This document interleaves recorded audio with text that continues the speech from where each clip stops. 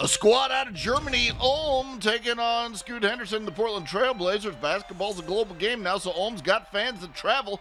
In the first, Scoot Henderson lobbing it up to DeAndre Ayton, who can go and get it, and he lays that one in. We're tied at two apiece. Ben Saraf with the pull-up jumper here, and Ulm takes 13 to 12 lead.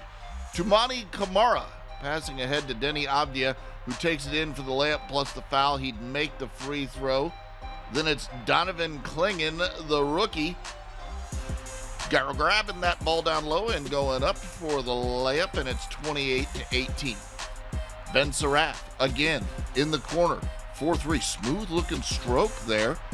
And Portland's lead is down to two. In transition, Scoot Henderson takes this one in for the stuff.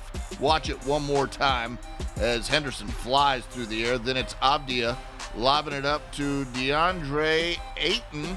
And Ayton crunches that one home. He had 13 points and eight rebounds. Portland up by 16 at the half.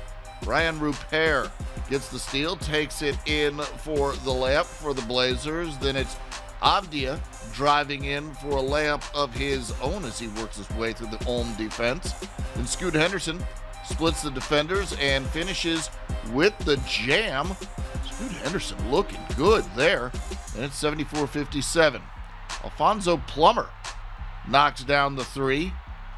Then it's Saraf kicking it out to Nelson Weidemann for another three pointer. And it's a five point game. Ulm hanging right in. Scoot Henderson on the give and go drives into the lane for the layup. Then Henderson gets the steal and lobs it up to Clingan. And boy, Clingan can go and get it.